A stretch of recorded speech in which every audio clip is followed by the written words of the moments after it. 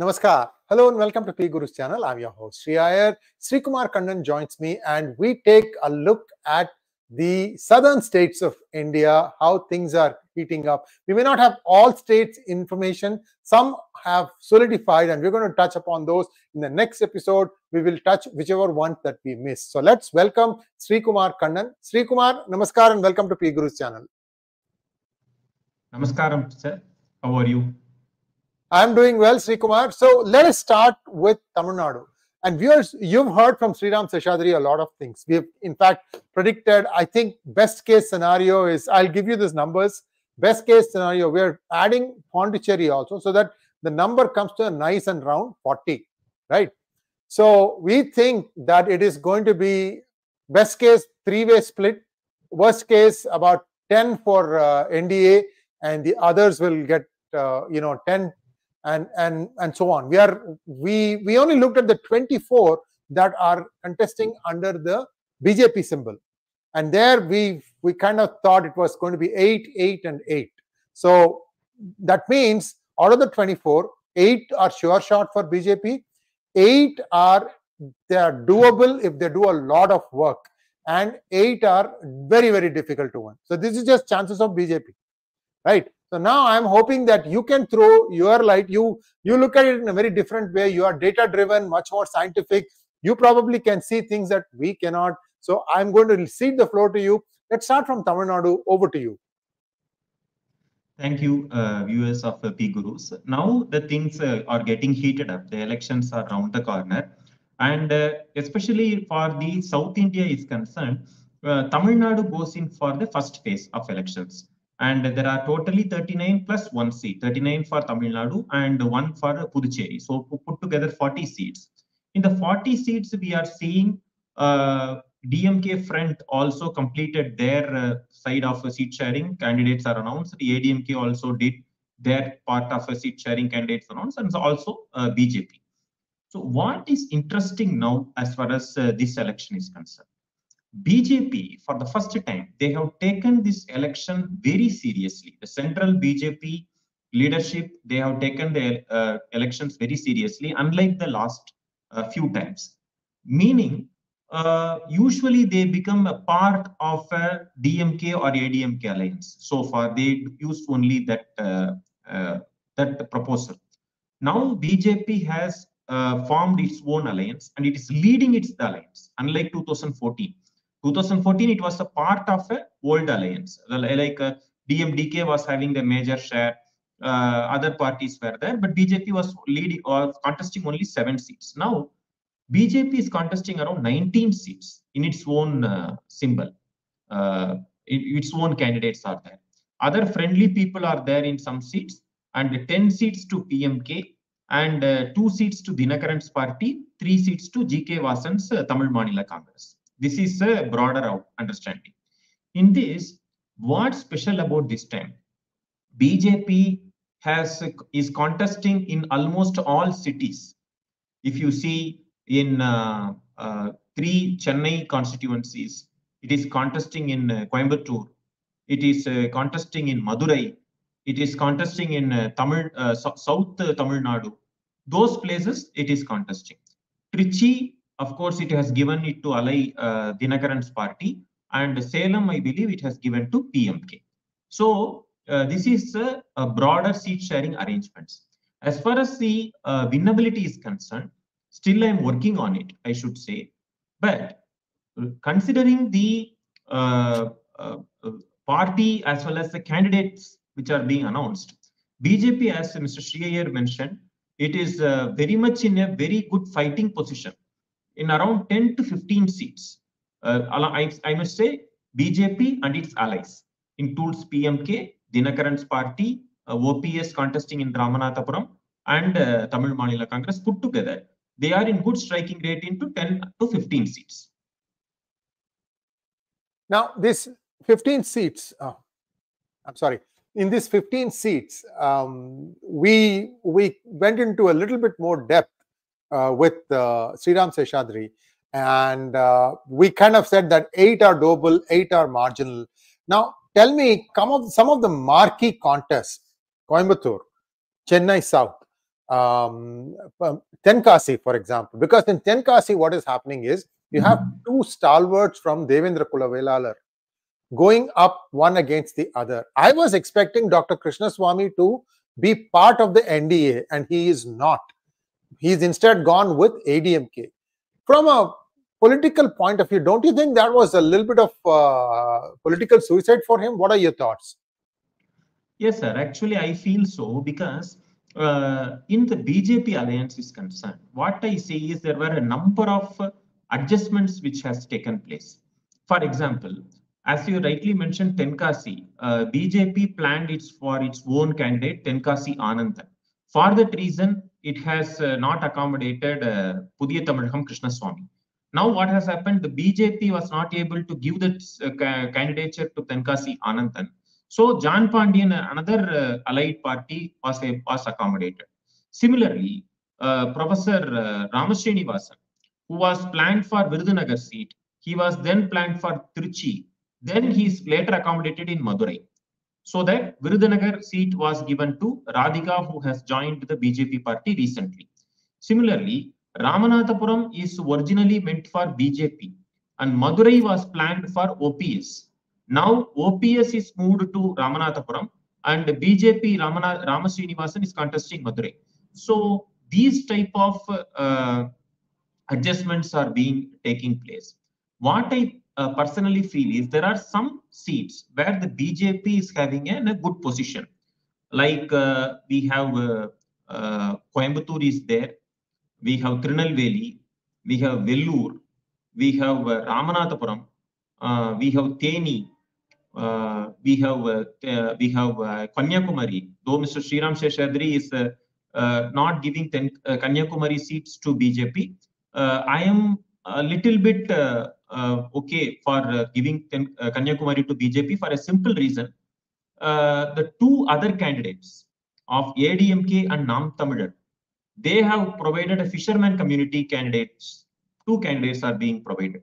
So if in the vote split, BJP can sail through in uh, Kanyakumari, Pon Radhakrishnan. is concerned. So these are some of the seats. South Chennai, it is only a fighting chance. As Mr. Sriram Seshadri, I also concur with him. BJP can best fight for the third position, though it, it cannot uh, come for a other second or because the two others are very strong candidates. Madurai, it can have a good fighting position because of the socio-demographic uh, um, style there because Madurai has always voted for a national party. There are only two occasions in 2009 and 2014, Dravidian parties were elected. 2009, Alagiri was elected from Madurai. 2014, ADMK candidates.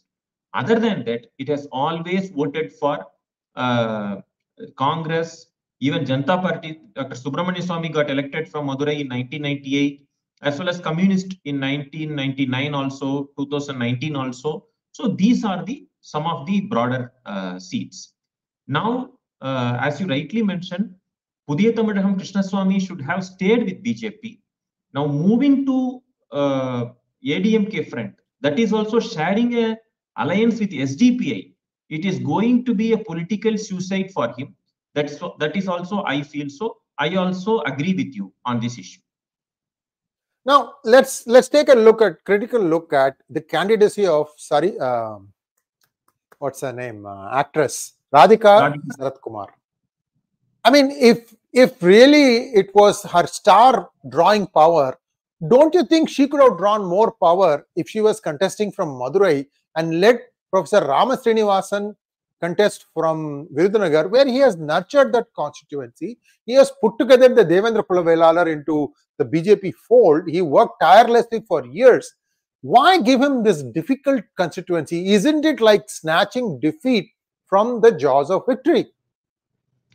No, sir, I see it in a different angle. Virudhunagar is actually a difficult seat for Mr. Ramasrinivasan.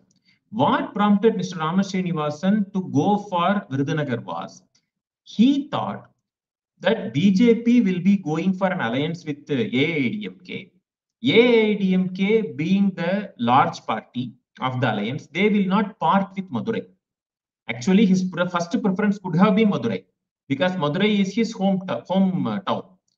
But he thought BJP, uh, ADMK will not part with Madurai because of it is a large party at one uh, one side, and it has uh, big leaders in uh, ADMK like Rajan Chellappa was there, Uday Kumar was there. So many leaders were there. They will not part with Madurai with BJP. So he wanted to move to a safer seat, which ADMK cannot deny. That is what his initial plan could be. So he moved to Virudhunagar.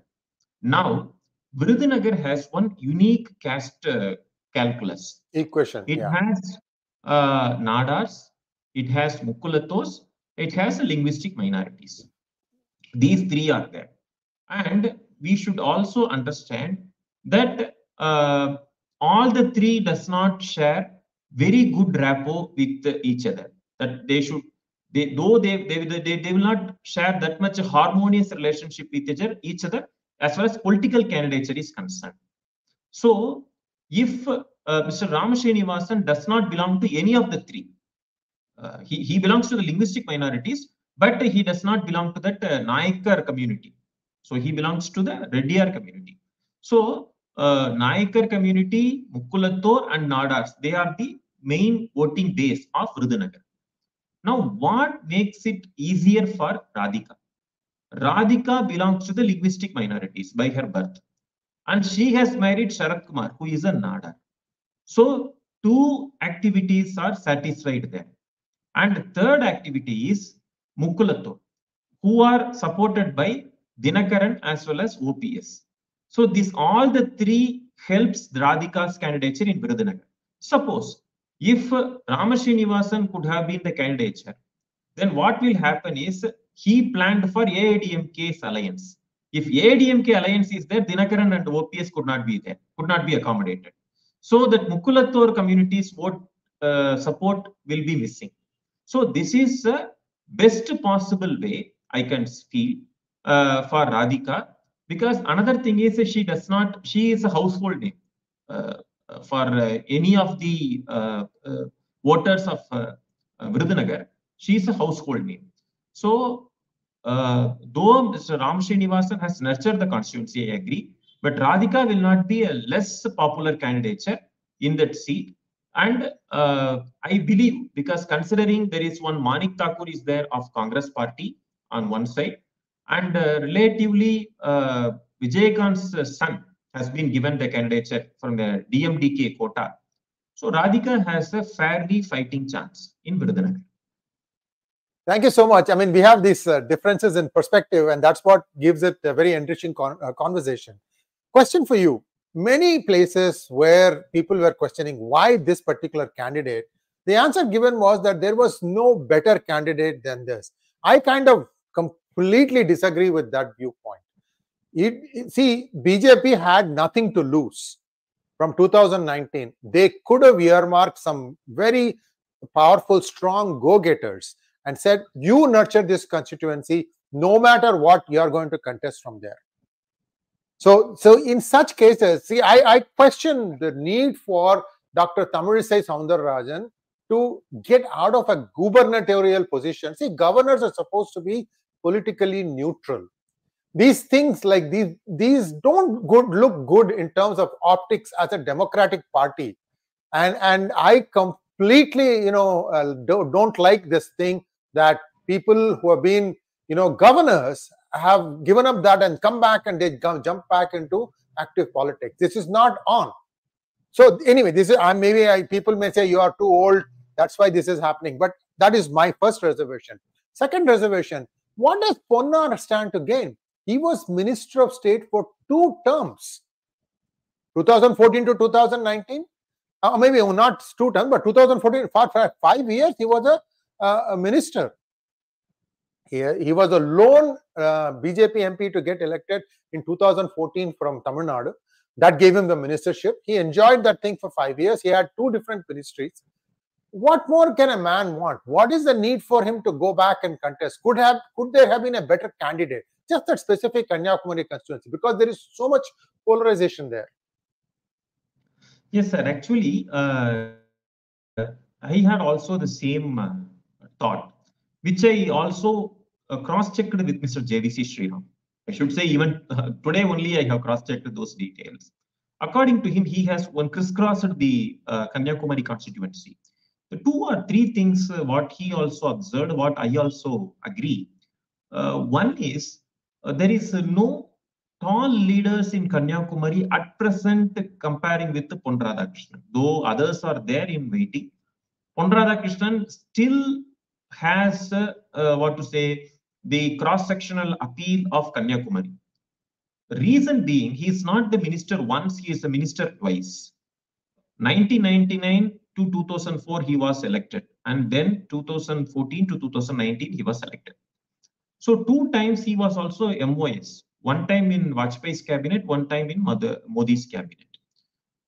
Second thing is, uh, it is a highly polarized constituency comparing with the other constituencies all over Tamil Nadu. This is one such constituency where there is a clash of national parties comparing with any regional parties. It could be either BJP on one side, Congress and Communist on the other side. So what is the speciality about the Pon Radhakrishnan is, though he may be uh, unpopular until election date, but when there is a course of election, there is no other person who can fill in his shoes. That is the uh, what to say unpopular reality. So and uh, that is one point. And the cadres, though they were uh, having some uh, bitter feelings, or you can say there is some dissatisfactions with uh, Mr. Pon Radhakrishnan. This time I feel they are pulling up their socks and to get the seats. Even some other community peoples also they are planning to vote for uh, BJP this time for a simple reason. They want uh, the national highways to be developed in Kanyakumari. They want some projects like airports and railway ports to be brought into Kanyakumari. I mean, railway railway uh, expansion they wanted to make. Some industrial development they want. So because they feel it is mostly shared from the Kerala side and uh, it has stopped with Thoothukudi. Even if they go to airport also, they have to go to Thoothukudi. That is the nearest airport for Kanyakumari people. So what they feel is they're looking at the bright, bright uh, opportunity of Modi coming back to power. Voting for Pon Radhakrishnan will deliver these uh, facilities for the constituency. That is the major reason what they personally feel. And as far as the governor role is concerned, as you mentioned, there are, I also personally feel the governor's uh, position should be a one-way traffic. When a politician retires and occupies the post of the governor, then uh, he should do justification to that governor. He may retire from the governor's post and he may lead a public life without entering the political active politics. That is also I that is what I also personally feel. I, it was a strange thing to me when Mr. S. M. Krishna, who was a Maharashtra governor who returned back to politics, and in 2009 he was made as a minister. That was the first instance after a very long time in my limited political knowledge who has uh, made this U-turn. Then it became a precedent for the other BJP people also. As I mentioned that Baby Rani Maurya, she also entered the political arena. Now Tamilisai Soundararajan. The problem with Tamilisai Soundararajan is even during her governor's position, she was kept the politics boiling. She was giving the constant political statements, which is unbecoming of a governor. A governor's position is a constitutional position, and they have to take a constitutional stand. They should refrain themselves in giving political statements, making political observations, commenting on other states' political politics uh, interference. They should they should refrain themselves from so. But what uh, Tamilisai Soundararajan did was she always interfered in the political happenings and giving running commentary about Tamil Nadu politics. So this was very unbecoming of a governor's role and better it is uh, if the politics is her cup of tea, let her resign that job and come to the governor's uh, active politics. Hope that she doesn't become a governor again and make a, you know, a mockery of this system in the future. In fact, I would go so far to say even speaker of uh, any state assembly, once you become a speaker and, and in the parliament, you should not be contesting in politics after that. You have gotten to an exalted position where you are supposed to be able to listen to both sides and come up with decisions. And and anyway, so this is this is just mockery of democracy. We'll leave it at that because we have a lot more to cover. Viewers, if you have not liked this video, please like it. We are now going to take a look at Telangana because Telangana, we have a little bit more definition about the candidates, the matchups, and so on and so forth. We are still awaiting data about Karnataka as well as Andhra Pradesh. So we may not be able to touch upon it a lot. And, and Kerala also will have a little bit of inputs. First, let's take a look at Telangana. Over to you. Yes, actually, as you mentioned, sir, because Andhra Pradesh, uh, there are about six seats which are given to BJP. Candidatures are uh, still awaited. I am also eagerly awaiting because I thought today they will be announcing, and so far I have not received the uh, press communication. I have not seen that. Similarly, in Karnataka also, they have given three seats to uh, JDS as a part of the pact. Uh, Mandya, Kolar, as well as Hassan. So these three seats are given to uh, JDS. Remaining 25 seats, BJP is contesting. So we have to wait for the next set of seats. As far as Telangana, uh, Telangana, they have announced most of the seats. Uh, most of the seats, I should say, they have repeated the old people like uh, uh, Bandi Sanjay is contesting.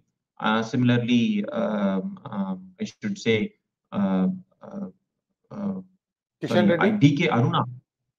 Uh, yes, Kishan Reddy is contesting in uh, Secunderabad as well as Nizamabad is it, and one more person is uh, this DK Aruna. She is contesting from Mehboob, Nagar.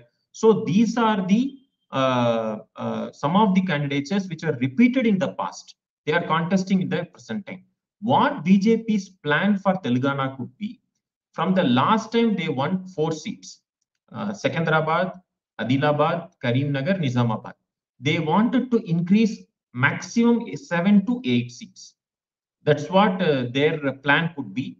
But the problem here is Congress is also in an advantageous position because uh, they have just come into power and there is a complete collapse of BRS. Uh, the BRS have uh, been squeezed out of the politics in Telangana, which was very fast. It evaporated like anything, even very fast than anyone could have expected. So, what a person like me thought was uh, BJP, BRS, and Congress will have an equal uh, political future. BRS will fade away in the days to come. But what has really happened was BRS faded away much faster than anyone could have expected. So it is a direct fight between Congress and uh, BJP. In that, the people of Telangana has one advantage towards BJP is they are also very sure that BJP is going to come back to power uh, this time. So their voting pattern could slightly differ, giving some advantage to BJP uh, comparing with the Congress. Who is standing in Malkajgiri from BJP? Uh, Malkajgiri, I have to yet to see, sir, because they have announced the candidate, but he's not that much a popular candidate. Ah, uh, they have given to uh, Itla Rajendra, sorry. Itla they Rajendra? given. Yes, Malkajgiri? Malkajgiri. was- Yes. He's was more strong in the northern part. He's stronger in the Adilabad, that area, I thought. Why did they give him here? I don't know. That's very. Uh, Even See, I am very Mal- Actually, Muralidhar Rao, Muralidhar Rao was uh, eyeing for that constituency, that uh, uh, RSS uh, ideologue person who is uh, general secretary of the BJP for a long time. Uh, Muralidhar Rao was uh, planning for Malkajgiri. Uh, even I was surprised that uh, it was given to Itla Rajendra. Well, between the two, I would say Itala is probably a better candidate. But the thing about that is that is the most urban constituency in the whole of India. The average voter has a bachelor's degree. You don't find such constituencies in India, very rarity. Although it doesn't seem to have any intellectual bent when it comes to elections, it seems to vote with the trends and waves, whatever whatever is there. But it's a very un- interesting and it's very close to Secunderabad. It's in fact adjoining Secunderabad. Much of the city of Secunderabad, not Hyderabad, Secunderabad, uh, has Malkajgiri in it. So very interesting. We'll have to wait and see how that plays out. So you think that it is realistic that uh, BJP might get eight out of the 17 in Telangana? Yes, it's possible because last time itself they count they won about uh, four seats. Now they can Yeah. nurture their hope in some of the seats like uh, as you said Malkajgiri. They can hope for Mehboob Nagar. In another one or two seats they can plan. But uh, there are some difficult seats like Bhongir is there, Medak is there. Those uh, Hyderabad is there. Those are difficult seats. Uh, we have to wait and see because the real problem with the BJP is the structurally giving full uh, fight. If it is a three-cornered fight, BJP can fare better uh, because its vote will be intact. On the other hand, uh, BRS and Congress uh, anti-BJP votes will get split and BJP can get through in some of the seats. But here, what the problem is the complete meltdown of uh, BRS. That was, uh, we don't know how this vote will go. If the BRS votes melt down and it goes completely with Congress, then it will be difficult for BJP to get more seats. And if it is shared between both Congress and BJP, then in some seats BJP can get through. That is the present situation. Question for you regarding uh, Annamalai, and uh, then we'll go to Kerala. One question for you regarding Annamalai. See, there is there is like a halo effect. For example, in 2019, because Rahul Gandhi contested from Wayanad, the uh, United Democratic Front that has Congress as the lead partner, they swept. I think they won almost all or all but one or something like that, or the 20 seats in Kerala. Now, do you think that with Annamalai contesting from Coimbatore, the adjoining constituencies such as Pollachi, uh, even Palakkad, because Palakkad is right across Coimbatore, and that's where uh, actor is, uh, is contesting on BJP ticket, and and and also Tirupur and a couple of other uh, you know Kongu Kongunadu constituencies. Do you think there could be a push in favor of the BJP in these constituencies? Yes, I feel so because uh, many of the people who didn't share my idea that uh, uh, should contest. What they thought was Annamalai contesting, if he is defeated and it will uh, it will shadow his political future, people think in that way. I see it in a different way. So, irrespective of the result, it is necessary for a leader to test his politics and his tel- his ability in democracy in every time and then. Otherwise, what will happen? See, for example, he entered politics in 2020, uh, the 20 and 21 beginning, I should say. Only one time in Aravakurichi, he tested his uh, politics. That was uh, his hometown, where due to demographic issue, uh, he was not successful. Then till 2026, if he has to wait, then it is a long wait, I should say. Yes, sir, please. He took revenge on EPS for that Aravakurichi defeat, in my opinion. Yes. so what I yes, I also feel so. What uh, the advantage of Annamalai contesting an election in Lok Sabha is it will first project him as a serious political leader. It will not make him as a person who is dodging any political challenge. Third, as Mr. Shriya rightly mentioned, it will give a ripple effect in adjoining constituencies, say Tirupur, say Namakkal, say Pollachi, uh, and other Kongu areas on one hand, and also the adjoining Palakkad on the other. And Coimbatore is a, a comparatively an urban constituency next to Chennai. So it has industries on one side, it has a good intellectual people on the other side, it has workforce there, and it has student power is there. So it is an elite constituency also on one side. So it is, and also it has a, a cosmo uh, demography. It has all sections of society who are there in uh, Coimbatore. So it will be easy, it will be suitable for a person like Annamalai to test his politics in Coimbatore. And it, this setup should continue until 2026 because what we should see it as if Annamalai refrains himself in contesting, then what will happen is it will cast a shadow on the BJP on its seriousness about this election. A person who's, who is the leader of the alliance or a party should lead from its front, irrespective of the result. We have seen even Arun Jaitley lo- losing from uh, Amritsar but that doesn't stop him to become any minister or so. And somebody ministries. Yes, from corporate affairs as well as finance. And even uh, somebody or some people are saying that if he becomes an MP, what about his state presidency? There are so many people of BJP who were also MPs and also continuing as a state leadership, state presidency. They were there. For example, Nalin Kateel, who was the ex-president of Karnataka, he was an MP. Sukanta Majumdar, who was a Bengal BJP president, state president, he was also a MP. Bandi Sanjay, until Kishan Reddy, he was also an MP. So becoming an MP does not stop. See, for example, C.R. Patil, Gujarat chief, Gujarat uh, BJP chief, he is also an MP. So be, uh, being an MP does not stop anyone be, uh, heading a state unit. So that argument is not. Uh, that argument is actually not in a right sense. So uh, he can become. He can be an MP he can prove himself as a good political, uh, uh, what to say, uh, a serious politician. He can take it forward to 2026. He can bust the myth that uh, BJP has uh, no space for Tamil Nadu. So, becoming a candidature will give more advantages than disadvantages.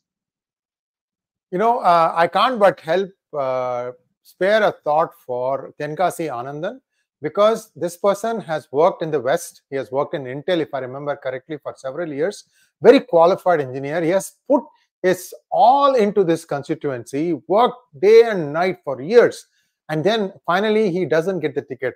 I mean, it's these are the kind of intellectuals that you want in the parliament, asking the hard questions, getting the hard answers, providing the solutions for the country. And, and somehow I feel that in this calculus, somebody who's got that talent and he has shown that he can do a lot of work has now been sidelined because of some caste equations. I think India needs to rid, rid itself of these things, or at least maybe he should come in, be brought in as a Rajya Sabha member. I feel like, you know, some people who have that sheer caliber, they need to be uh, recognized. Even even engineer Sridharan, you know, who narrowly lost in uh, Palakkad last time. I mean, what what kind of thinking do Palakkadites think? This man has provided India with so many metros, all of them such beautiful trains. You know, if I can, I usually take the metro. It's not that I can't afford a, a cab. I get I take the metro because I can arrive at a place on time. That is the biggest plus for a metro being used. And and you know, that's just me. What I'm saying is that somewhere along the line, this calculus, you know, doesn't reward the real, true, hard working people uh, who should have been uh, uh, uh, contestants there. Now let's take a look at Kerala. Kerala, last time I think we talked about three places where their BJP had a, a fighting chance. One was Palakkad, Suresh Gopi, Thitta, where I think Anil Antony is standing, and the third one was I think Thiruvananthapuram, if I remember correctly. There may be some other things that are coming up. Give us a picture of what is happening in Kerala. There is a constituency Alappuzha where uh, Shobha Surendran is contesting. She is also a good candidate, people are saying. What in the Kerala uh, BJP is planning is uh, uh, to increase its vote share and also hope for getting one or two seats. That is the basic thing. Opening an account in Kerala was its prime uh, is its prime objective presently.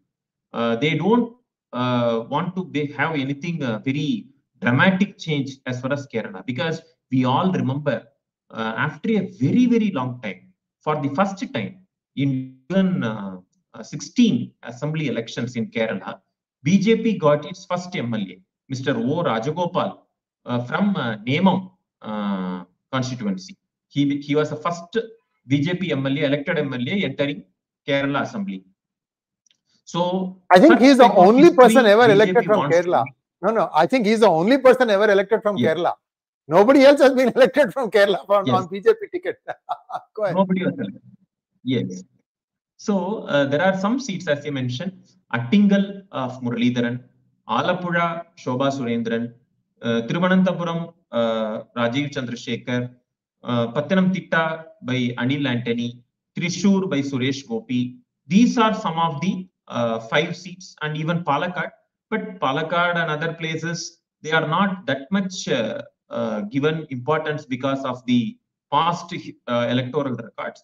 We need to wait and see. But these are the five seats where BJP would like to see the vote position. Uh, seats are concerned, we need to check Pathanamthitta, Thrissur. Thiruvananthapuram still very difficult, I feel so. I'm sorry, I think I said Palakkad for Suresh Gopi. I think it is uh, uh, Suresh Gopi is standing from Thrissur. But you know, if you Thrissur constituency also has Guruvayur, correct? Correct? Yes. So, Guruvayur viewers, you will be amazed to know the city of or the town of Guruvayur has this very famous Guruvayurappan temple, Lord Krishna. But the population is 90% Muslim. 90, 90. Even the shopkeepers, they may, it's a very different constituency. And I don't know, uh, of course, this is just one part, Guruvayur alone. And there are lots of temples. That's not just the Krishna temple. You can you can take about half a day. You can spend going through various temples in Guruvayur area, beautiful Shiva temples, very um, excellent uh, holy place. But in terms of winnability, what do you think Suresh Gopi needs to do to rise beyond all these? You know, they have this cross voting uh, record, they they pride themselves that you know one front versus the other, no room for BJP. Doesn't matter how many percentage votes it polls. Do you think Suresh Gopi will be able to break that uh, that arrangement, tacit arrangement that the two fronts have?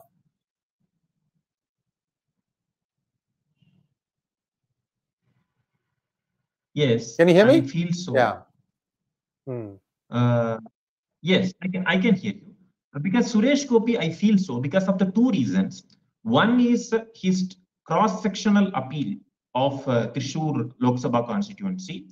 And second thing, he is not new to the constituency. He also contested in uh, 2019.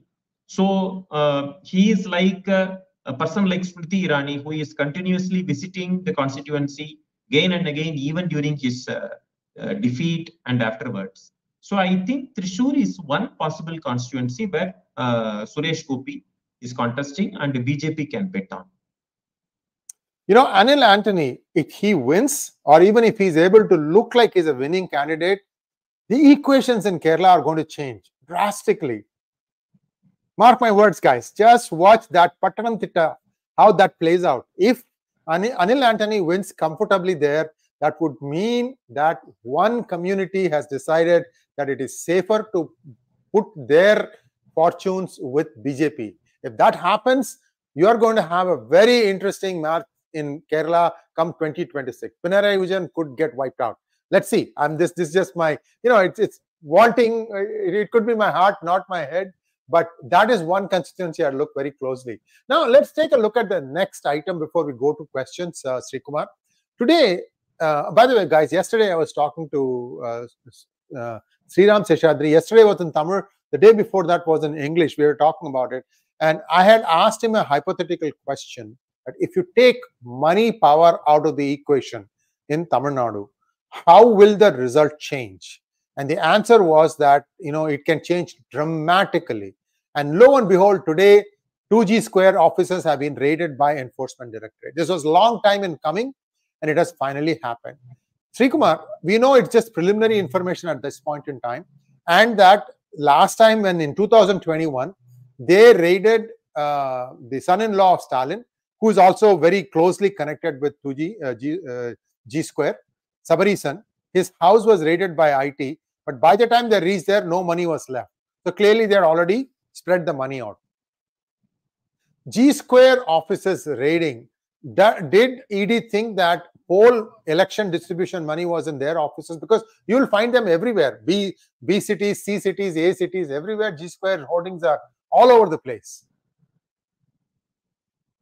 No, actually, this uh, ED's action uh, raiding the spa- places, uh, they are not new. We all know that uh, during 2019, uh, one election which was uh, which was stopped, it was postponed, was Vellore. Uh, for because for the simple reason that the money was found and was used by political parties.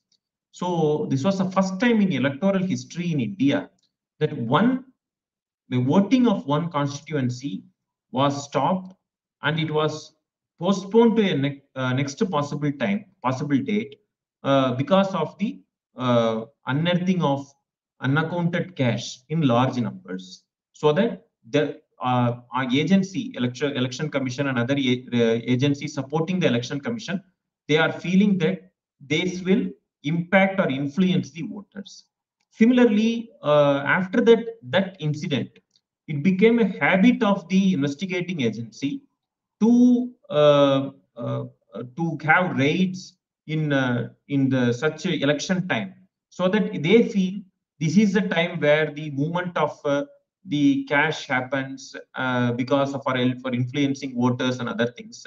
So we are still awaiting more information regarding this, and we have to wait and see.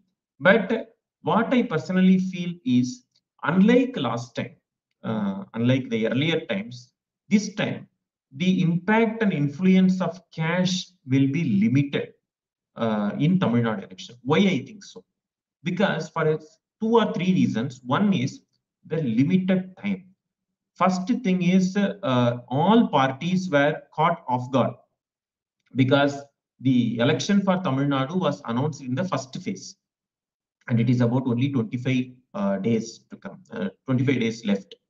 Second thing is when there is a uh, unlike a wave election, when it is a, a determined election that uh, uh, a person is going to come back to power, like for example, BJP is going to come back to power, is a overall uh, opinion, wide opinion. Tamil Nadu is also not lagging behind the opinion. Tamil Nadu also believes that yes, Modi is having a fair chance to come back to power.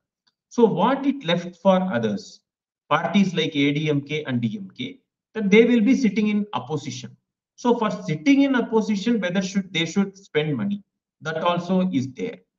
But how to uh, maintain their uh, uh, what political future, that is also there.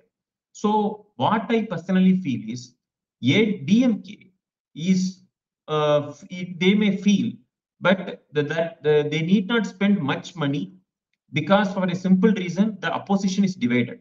BJP and ADMK are divided. Even giving more money, even without giving more money, they can easily uh, uh, sail through in this election because of alliance arithmetic, which is strongly in their favor.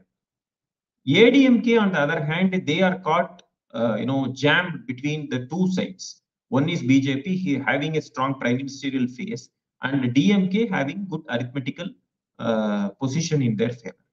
So this time, I feel the usage of money will be comparatively less to any political party for 2024. Well, I hope your prophecy comes true because uh, money is really queering the pitch for many people, and and it, you get disastrous consequences as a result. Uh, I've been, uh, you know, I've been visiting Kovai every three months, and there is, it's like an overgrown uh, village. Some very urban areas, and rest are all pockets, and and access is, you know, the roads get so terribly, uh, you know, bad in very short amount of time. And there has been a flyover that has been under construction for several years now. Keep they keep saying oh 10 more pillars and we are through and we'll be able to do it. It has still not been finished. I'm hoping that Annamalai makes that one of his planks. In fact, I'm hoping that he builds on on that that thing that has been laid down, the pillars, and say that okay, I'm going to build another tier on top of that and make that as a metro.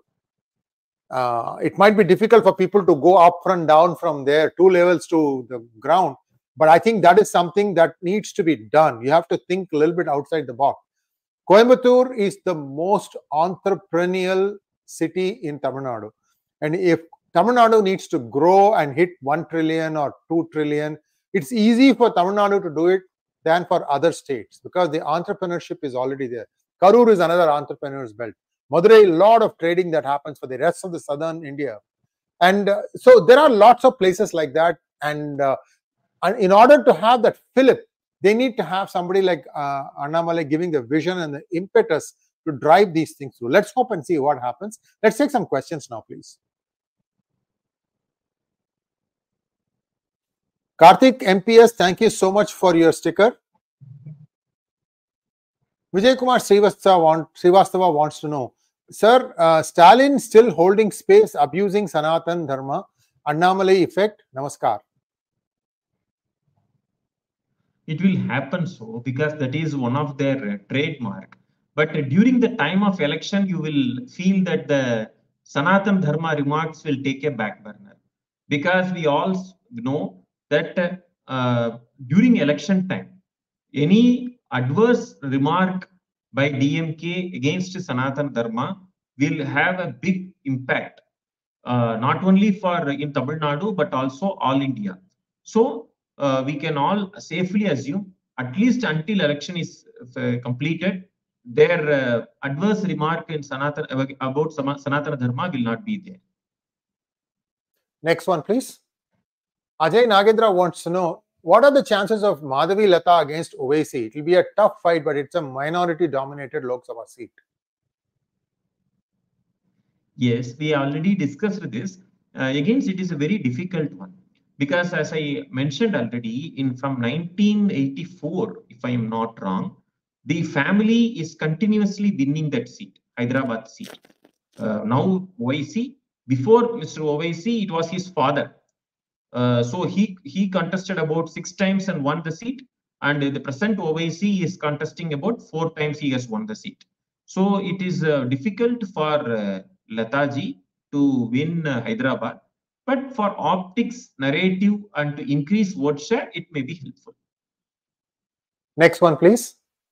Uh, Ruben Loganathan wants to know Is BJP proactive enough to counter all the lies, misinformation, false news, allegations that will be thrown at it by DMK throughout the campaign period? Usually, BJP is very slow. Yes, I also feel the so, but that was the case until 2021, before the entry of Annamalai.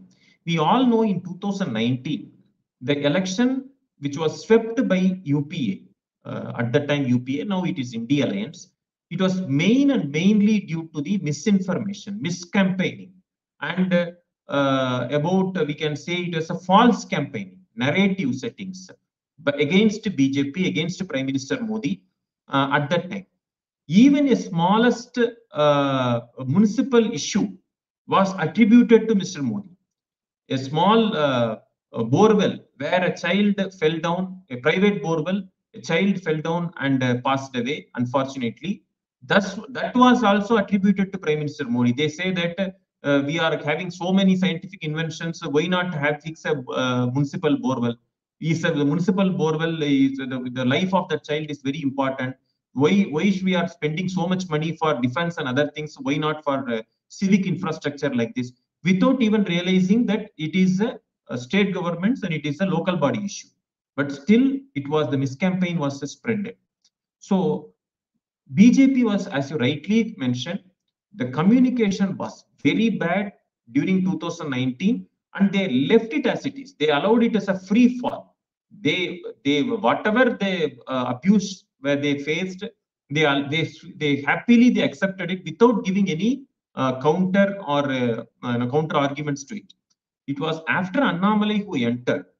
He uh, reputed, he rebutted each and every uh, allegations one by one, which set the narrative. And this is the first election I, I can see in 2024 where the DMK is lacking any narrative against BJP. For that reason, it is repeating its 2021 manifesto this time. Same need is there, same petrol diesel uh, reduction is there, same freebie is being announced, curtailing of uh, governor's role, so many things, CAA, other issues were there. They were not able to give any single concrete new ideas in their present manifesto. That shows the DMK's narrative setting has taken a back foot.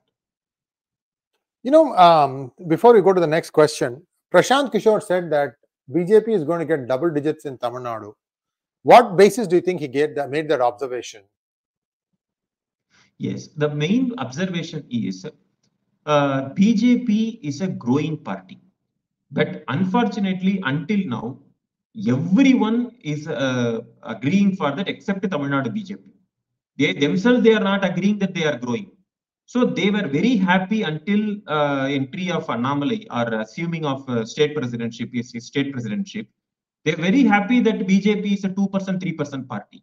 And when the opposition and others were mocking at BJP that is uh, getting votes less than Nota, they were very happily taking it without giving any uh, concrete suggestion for the growth of the party. To have a growth of a party, BJP should contest alone to move away from the shadow of both the Dravidian parties. Like a small sapling which cannot grow in the shadow of a very big tree because it lacks sunlight. So BJP should move away from the big trees like the Dravidian parties, both DMK and ADMK. Only then it can grow. But the, the state unit lacked the guts for doing so. Annamalai took it up, that challenge. His first uh, challenge was to, to make equip the party mentally strong in such a way that it can contest the elections without the help of these two parties, in which he has succeeded. And we can see the, uh, uh, what to say, Mr. Uh, Prakash, sorry, um, uh, uh, he has uh, Mr. I'm sorry, uh, the uh, Prashant Kishore, who has predicted about double digit. The main reason being from 2% earlier, the BJP got around 5% in the local body election. That is in the year 2022, uh, where it got around 5% election. And how the vote percentage will increase is only if it contests large number of seats. Then only the percentage of votes will increase. So BJP for the first time it is contesting about 19 seats with its own candidates and about four candidates with uh, its symbol but smaller parties. So about 23 candidates it is contesting. So it is likely to increase its can uh, from 5% to double the vote share.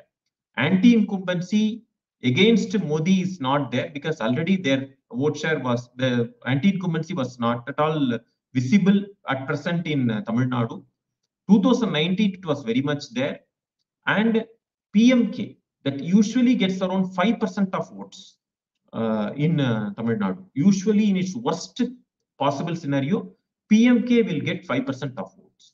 And other smaller parties, including Dinakaran, Tamil Maanila Congress, it may get about 2% of votes. So totally this alliance partners alone will give around 7 to 8% of votes. So BJP, it will definitely touch about 12% of votes to max minimum 12% to 15% of votes. So totally from 20 to 25% of votes the front can assume. What is the backing of my prediction is there are so many small to big uh, opinion polls which have taken place. Everywhere they have given from 13 to 14% of BJP till 17 to 18%. This was before the announcement of the alliance. Now, if we take the median range, it will be definitely 15%. And with the alliance partner, it will cross 20%. This is my basic uh, calculation. But 20% won't win you seats, though. But if in concentrated areas, it can win seats. There are some places where BJP has, uh, they will lack seats. For example, in Delta region, where no, uh, not even BJP, not even its alliance partners are strong enough. In North, there are, but even in West, there are some seats where BJP is strong. Say, for example, Coimbatore, Tirupur, one or two places. But Namakkal, Nilgiris, we may not feel so. South also, Dindigul, we may not feel so, but other places, Tuticorin, we cannot say. Uh, other places like Tirunelveli, Virudhunagar, Kanyakumari will so. So the 20% uh, we cannot, we should not see it as in a holistic way. In concentrated pockets, BJP can win seats. Thank you so much. Next question from uh, Karthik MPS. Um, is there sympathy wave for DMK plus Congress in Tamil Nadu because of Kejriwal's arrest? Is that likely to influence the outcomes or BJP's success? Let me tell me one. Let me tell you one thing. Kejriwal's arrest is not giving a sympathy even in Delhi. Forget about Tamil Nadu. because the people, uh, I should say one thing. Uh, the parties like Congress or BJP, look at it, their genesis. Congress, it started its career from uh, freedom struggle and other things. Then it reinvented from uh, Congress, OR, and then Indira Congress and like that. BJP from Jan Sangh and its ideology. Think about Arvind Kejriwal, Aam Aadmi Party. it started its politics political career from the NGO, the sorry, the uh, non-political movement called India Against Corruption, and where he landed it from uh, India Against Corruption, formation of a political party, landing itself into a corruption scandal, that too in a liquor policy, which was uh, against Anna Hazare's, uh, you know, objectives. So uh, the person who has landed himself in jail uh, does not deserve any sympathy, rightly so. And uh, even in voters also, they are uh, of the same opinion, I believe. Next question, please. Subramanian Vishwanathan wants to know, uh, Srikumar, how many seats NDA will win in your assessment? Any chances of creating history in uh, Era Vengaya land? I don't know what that means. He meant to erode, I believe. Okay. because uh, EVR used to say Vengaya.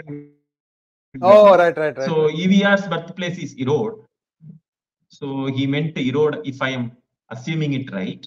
Uh, I don't think uh, erode uh, BJP will alliance will win because they have given the uh, seat to uh, Tamil Maanila Congress.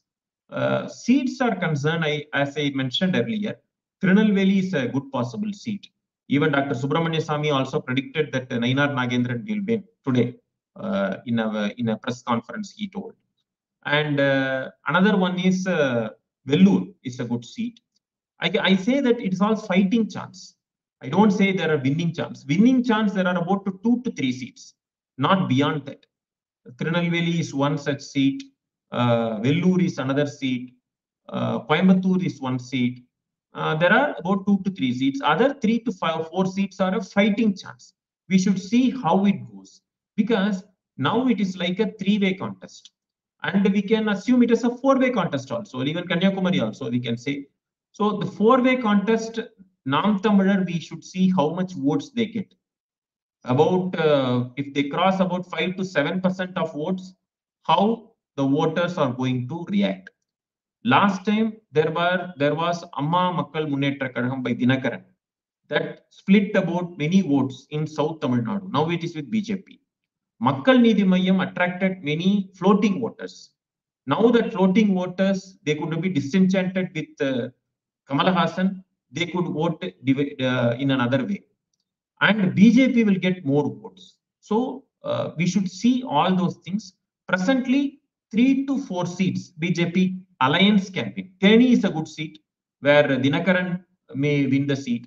OPS has a good chance in Ramanathapuram because uh, being a star candidate, he is a, a former chief minister also, and uh, division of votes will get him that seat.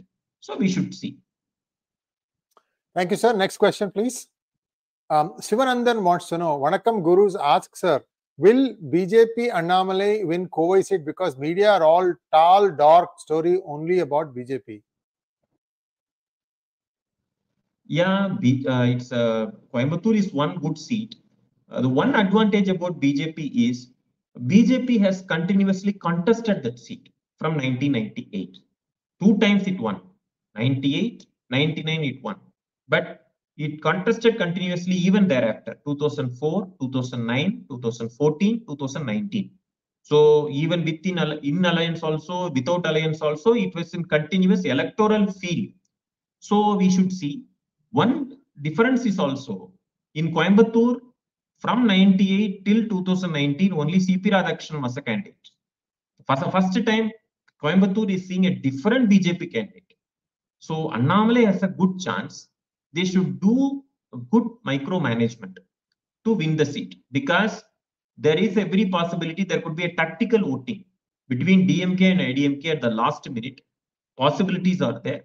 So Annamalai should be very much aware to uh, break this uh, jinx by uh, doing much more micromanagement, at least to get the votes to 45%. Uh, so if the, he does so, he can succeed. Next one, please. Anand Devarajan wants to know, will at least the voters from Coimbatore refrain from getting lured by the election money, Sri Kumarji? Coimbatore is very much part of Tamil Nadu. So it cannot go anything outside the grammar of Tamil Nadu politics. But yes, they may opt for a good candidature. because very rarely we can feel, we can see uh, in politics, uh, we will get good candidates. As Mr. Sri rightly pointed out about Mr. Sridharan. So very, because now he has grown old. So very rarely we can get such type of candidates. People will be yearning for getting such type of candidates. And when they get that candidate, they may defeat them also, which may take another big gap for uh, know, the constituency or the people to get another type of another such person. So it is a, a good thing that Annamalai is contesting. It is for the um, uh, it's for the welfare of the people, it's for the betterment of the people to make use of this opportunity. Next one, please. Thank you, Aryan Arya, for your generous donation. Thank you, Ranjit Lala. Facts and Fiction wants to know, Sriji, um, is it true that when the BJP contests in Kerala, the Congress and left traditional ruling opposition party come to a tactical alliance? Yes. Yeah, I was part of one show in NewsX where uh, I think the the candidate who lost to that remember that Nemom constituency, same exact thing. O Rajagopal's victory. That day I was on the panel on NewsX, and the guy who lost that party, I don't remember, it's LDF or uh, UDF, he was accusing the other side. You did not keep your word. You did not tactically vote. Open national TV, the guy is jumping up and down. So this is not this is not this is a fact guys. They do this all the time. See i had one time cornered uh, my good friend tg mohandas and i asked him yeah you guys say that you guys pride yourself as a 100% literacy rate. And then you go and do tactical voting. And he said it is because we are literate that we can do this. The whole thing got flipped by him. So look vote is something that is special you deserve what you vote. I mean, if you vote badly, you're going to get bad governance. That's all I can say. Uh, I, will let you answer the question, Srikumar. Yes, coming to Mr. Rajagopal or Rajagopal, I still remember his uh, press statement after his victory in 2016. Uh, he told that uh, Mr. A.K. Antony used to mock at him. If you want to come to assembly, Tamil Nadu, sorry, Kerala assembly, I will arrange a visitor pass for you so that you can come. so now, after the victory, uh, O Rajagopal said, I no longer uh, need a visitor pass. I have a pass of a member of a general uh, legislative assembly, which can I can rightly walk in as a member. So of a member of uh, Nemom constituency. So it was uh, I I still cherish that uh, you know press conference, which is very significant, you know, because uh, moments uh, rarely we get uh, in uh, politics. So we should cherish yes, and indeed. we should remember those moments. Yes, indeed. Next question, please. Uh, Balaji C wants to know Can you tell a little bit about the following constituencies? Any quick bird's eye view analysis on these? Pollachi, Sri K. Vasantarajan, Nagapattinam, Sri SGM Ramesh. Pollachi uh, and Nagapattinam they are difficult constituencies because they are uh, Pollachi is okay. It's a Kongu constituency.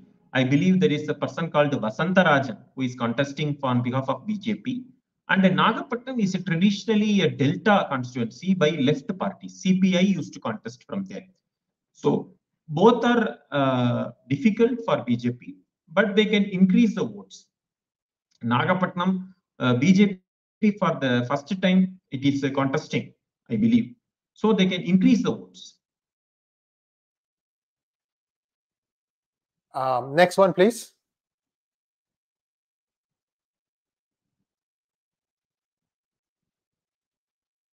Oh wow, that's interesting. SGM Ramesh is the son of a latest late communist leader. Interesting.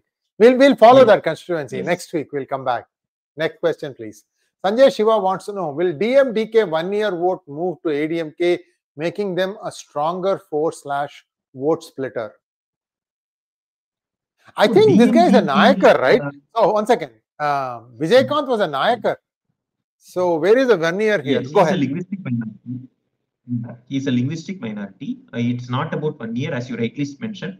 He is belongs to linguistic minority community. So, but the real irony is, after the demise of uh, Mr. Kant, that uh, votes percentage have considerably reduced of uh, that party. And uh, it doesn't matter whether it, uh, uh, it transfers the votes or not to, towards ADMK. But slowly but steadily, the DMDK lost its relevance because, I, again, I tell you, there is an ample space for a third alternative in Tamil Nadu against the Dravidian parties. Earlier, it was Congress. Later, after Congress, after a very, very long time, BJP is now testing its waters.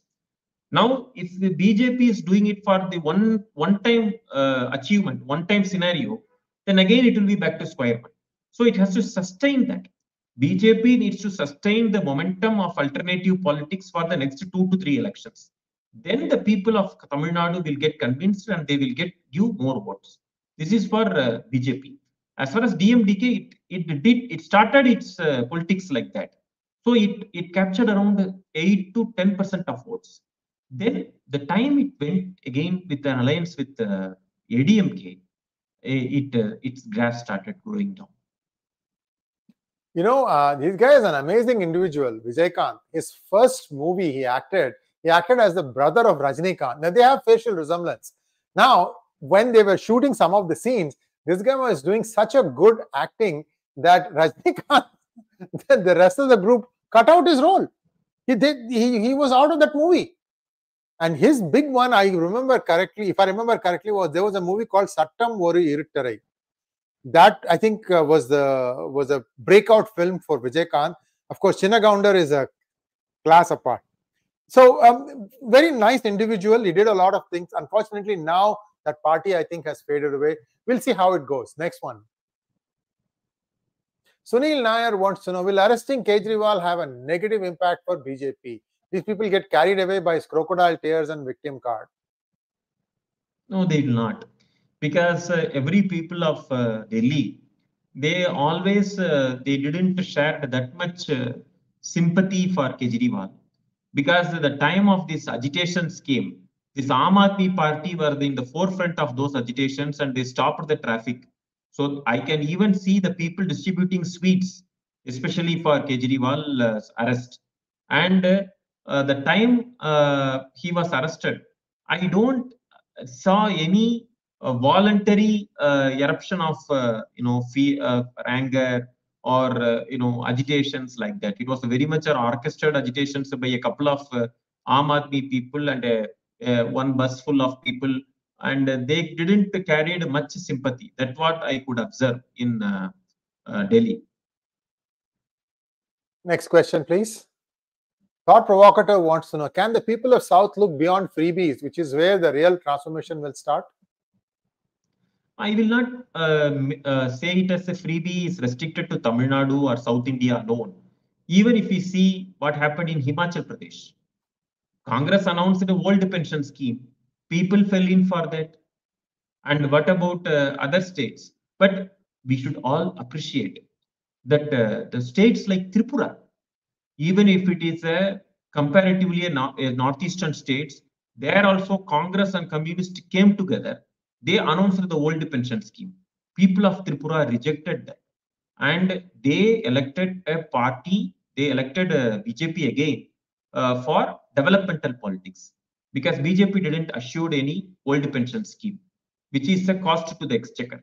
So uh, we should all appreciate that there are eastern states and northeastern states uh, which have voted on a real issue and uh, the freebie culture is not restricted to Tamil Nadu, South India. Of course, it is more in South India, I should say. Thank you so much, Srikumar. And viewers, please like, share, and subscribe to our channel. We'll be mm-hmm. back next week taking a look at it. Srikumar also will be joining us in Hindi on Wednesdays. And, and do tune in for that one too. Srikumar, thank you so much. And he also is on Wednesdays on uh, Tamil also. So this, he, he comes three times a week on P Guru's channels. Thank you so much, sir. Namaskar. Thank you, sir. Namaskar. Jai.